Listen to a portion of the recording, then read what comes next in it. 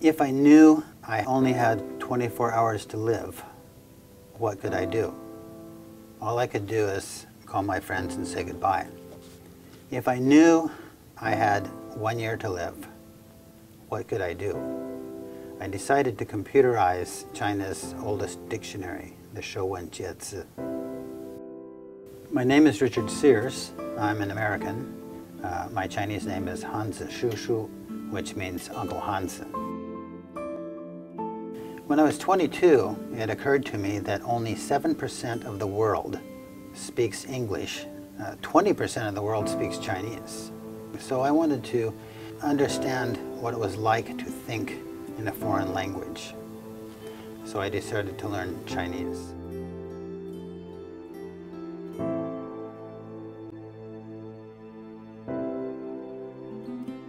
When I started to learn to write Chinese, uh, Chinese characters appeared to have no logic. But every part of every Chinese character is derived from pictographs, and the pictographs tell the meaning of the character, and they also tell the history of the character. The Shuowen Jiezi has 11,000 characters, the Liu Shu Tong has 38,000 characters, the Jinwen Bian has 24,000 characters. The Jiaguwen Bian has 31,000 characters. Altogether, uh, I've collected 96,000 ancient and archaic Chinese characters.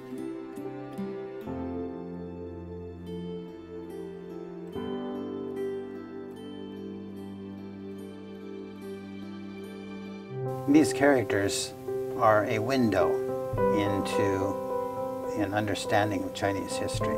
Chinese characters are one of the biggest parts of Chinese culture.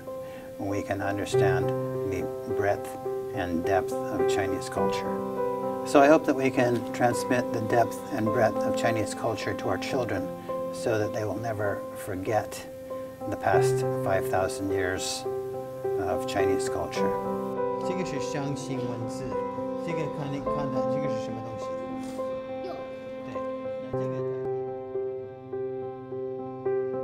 ？now in China, all the children are learning English.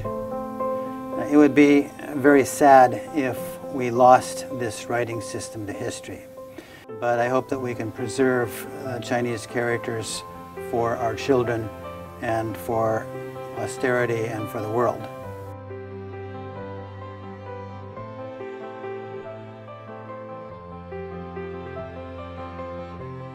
In the past 40 years, uh, China has come a long way.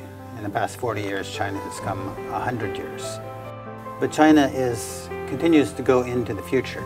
Every day is new in China. I hope that I can stay here and continue to be part of it forever.